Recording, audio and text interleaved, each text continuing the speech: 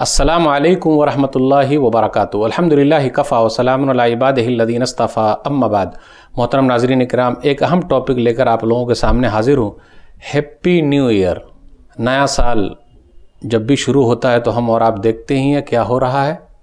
Thirty first دسمبر کو کیا ہوتا ہے، رات میں کیا ہوتا وہ پتہ ہے۔ ابھی دو ہزار بیس سے ہم اور آپ گزر رہے ہیں۔ ابھی جلد ہی دو ہزار اکیس میں داخل ہوں گے۔ دو ہزار بیس کرونا وائرس کی وجہ سے دنیا میں یاد رکھا جائے گا، لیکن اس کے باوجود بھی دھوم، دھڑاکہ، بہت زیادہ لائٹنگ ہے۔ ادھر ادھر گھومنا ہے، گرل فرینڈ، بوائے فرینڈ کس طریقے سے سمندر کے پاس جاتے ہیں یا پھر لائٹنگ کرتے ہیں، کھیلتے ہیں، کودتے ہیں۔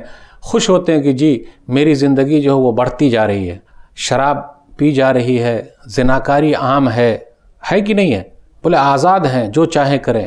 اللہ کے واسطے ایسا مت کیجیے۔ میرے بھائیو، یاد رکھیے گا، ہماری زندگی کا ایک سال اور کم ہو گیا۔ ہم اور آپ بڑے نہیں ہو رہے ہیں بلکہ ہم اور آپ چھوٹے ہو رہے۔ ہیں اس لیے جو لوگ یہ کام کر رہے ہیں، وہ اللہ سے ڈریں۔ ادا لم تستحی فسنا معاشیت صحیح بخاری کی حدیث کتاب الادب، حدیث number six one two zero, کہ جب شرم و حیا نہ رہے تو جو چاہو کرو۔ تو اللہ کے واسطے ایسا مت کیجیے پھر اسی طریقے سے جو لوگ اس کام میں لگے ہوئے ہیں، مسلمان بھائیوں سے کہنا چاہتا ہوں، بھائیوں سے، بہنوں سے اللہ کے واسطے وہ چھوڑ دیں۔ کیونکہ یہ تو دوسرے لوگوں کی مناسبت ہے۔ وہ لوگ ایسا کرتے ہیں، ان کے لیے دنیا جو ہے، وہ جنت ہے۔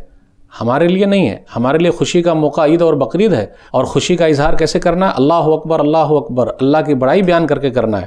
جو جس کے طریقے پہ چلے گا اسی میں سے ہو جائے گا۔ سرنابی داؤد، کتاب اللباس، حدیث number four zero three one, من تشبہ بقوم فہو منہم۔ اس لیے لوگوں کے طریقے سے بچ کے رہیے۔ اسلام ہمارا بہت پیارا مذہب ہے، اس کے طریقے پہ چلیے۔ دنیا چند روزہ ہے، وہ ختم ہو جائے گی۔ اللہ ہم سب کو صحیح سمجھ عطا فرمائے۔ دوم دھڑاکا نہیں کرنے کا، بلکہ اپنے آپ پر غور کیجیے کہ میری زندگی کا ایک سال کم ہو رہا ہے۔ میں موت کے قریب ہو رہا ہوں۔ اللہ ہم سب کو صحیح سمجھ عطا فرمائے، آمین۔ والسلام علیکم ورحمۃ اللہ وبرکاتہ۔